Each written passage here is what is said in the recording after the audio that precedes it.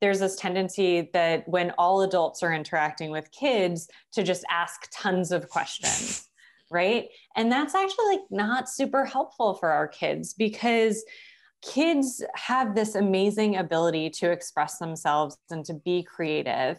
And the more we are kind of guiding those conversations or taking control of those, the harder it is for them to do some of that expression on their own. Mm-hmm. Um, and so I think giving kids space and, um, you know, I think parents when they think a traumatic event has occurred or they know that a traumatic event has occurred there's this desire to like ask a million questions and find out like what happened because they're anxious and upset that something terrible could have happened to their child of course that response makes sense and it's not necessarily the most effective response mm. for your mm. kid yeah. so trying to avoid that pressure on your child, trying to avoid the kind of repetitive questions, and really when they are willing to share, when they are opening up, creating a space that allows you know them to talk and you to really listen